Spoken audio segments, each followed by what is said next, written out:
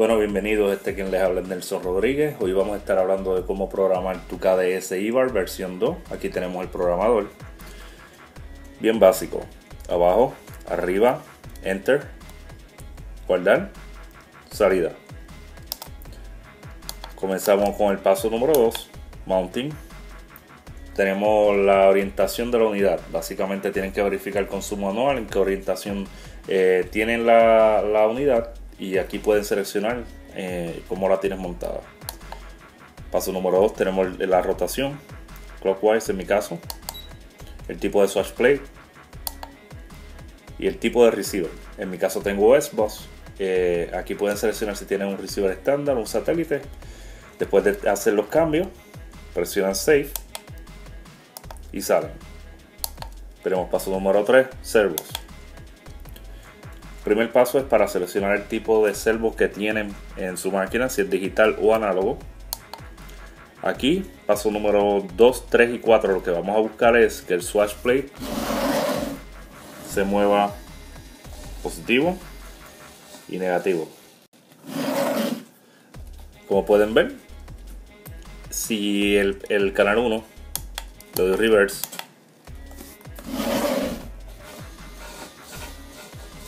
el software no se mueve adecuadamente. So, básicamente van corriendo los canales adecuadamente hasta que logren que el swatch plate tenga positivo, negativo.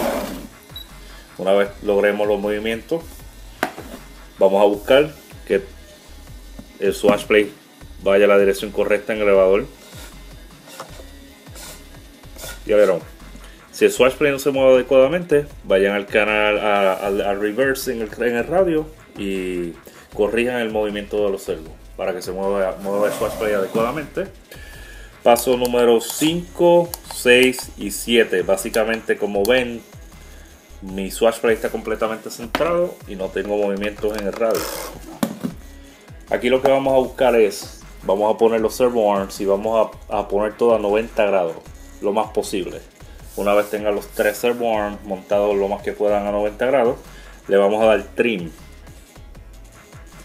mis números ahora mismo están en 37 en, el 1 y el 2 y 16 en el, en el canal 3, perdón, en el pitch.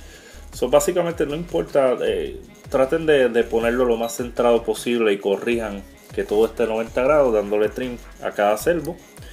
Tienen servo 1 neutral, 2 y 3. verifiquen todo, hagan las correcciones y de aquí partimos a nivelar el swatch plate y a poner el washout completamente en, en nivel. En mi caso, en mi KDS 5.5, les voy a dar un consejo para las personas que, tienen este tipo de máquinas. Un buen número para comenzar en los links es de aquí del plástico, donde comienza el plástico a plástico. Tengo 15 milímetros en los, en los servos del frente y 36 milímetros en el elevador. Muy buen número para comenzar y tener tu washout completamente nivelado. una vez terminamos de hacer los cambios, le damos save y salida. Paso número 4 tenemos control. Aquí básicamente pueden correr si el swatch plate no, va, no está trabajando positivo y negativo, está reverse, aquí pueden darle reverse al colectivo. Eh, collective pitch tengo básicamente factoría 100. Eh, aquí tengo 14 positivo y tenía 14.6 en negativo. solo lo que hice fue fui a los endpoints y en el canal número 6 del pitch, en mi caso Futaba, bajé hasta que me diera 14 igual que el positivo. ahora mismo tengo 14 y 14. Paso número 3. Cycle Pitch 0. Aquí básicamente pueden buscar 0 grados en, los blades. Cyclic travel, Cyclic Travel, aquí básicamente lo que estamos buscando es poner las paletas en paralelo con el boom y obtener 8 grados de cíclico. Paso número 5, exponencial. En mi caso, eh, pueden tener exponencial en el, sistema Flybarless o eliminarlo, como en mi caso, y usarlo en el radio.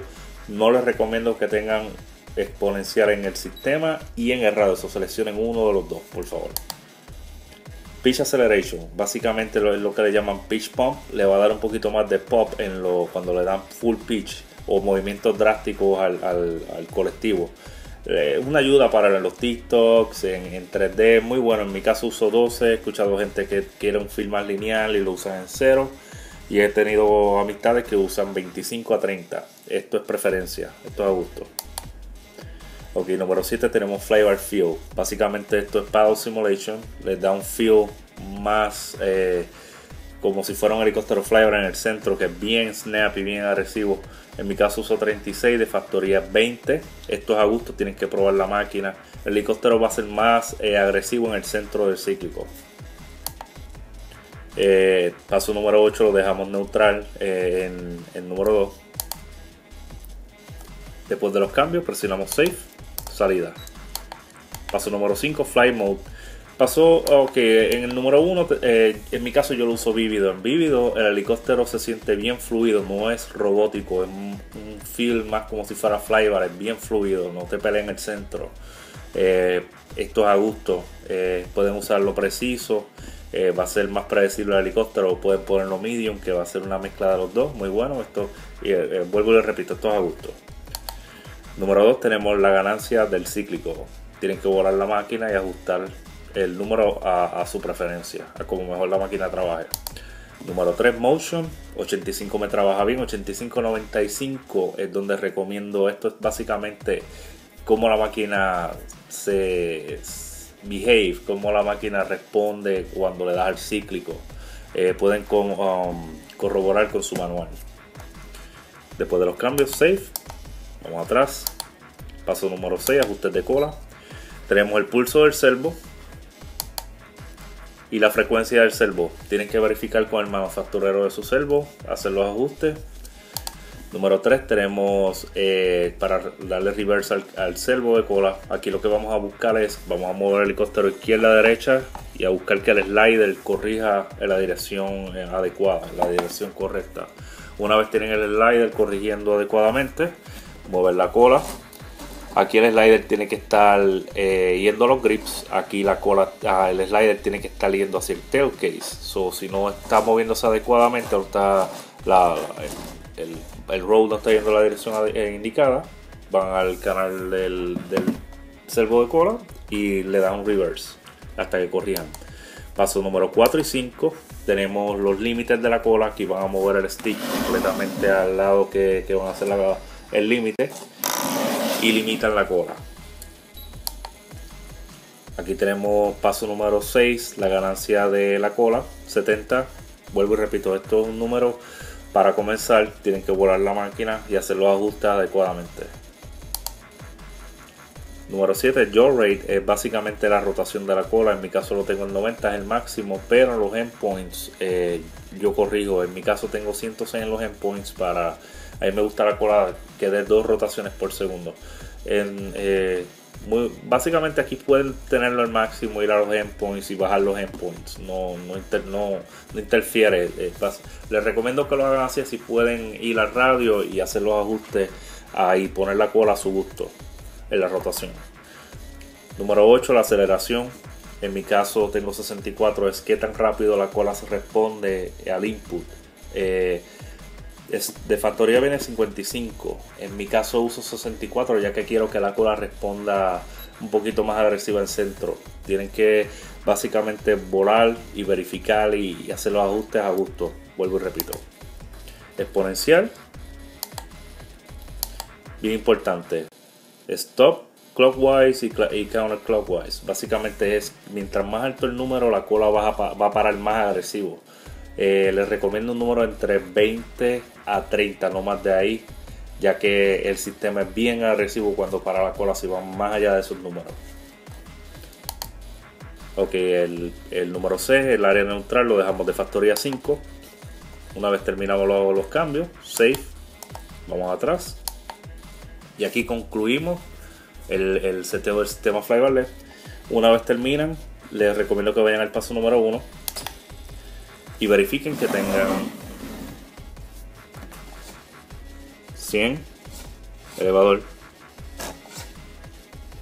Alerón 100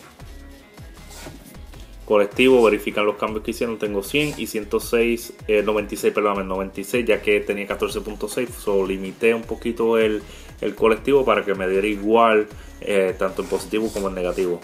Y tenemos la cola que tengo 106 verifiquen que por lo menos tengan elevador y alerón en 100 y con esto concluimos el, el seteo de nuestro sistema KDS IBAR. Este ha sido Nelson Rodríguez. Cualquier pregunta o duda pueden enviarme un email a nelson at 3 o visitar mi website eh, 3com Espero que esto haya sido de mucha ayuda para ustedes. Vuelvo y repito, este ha sido Nelson Rodríguez. Muchas gracias.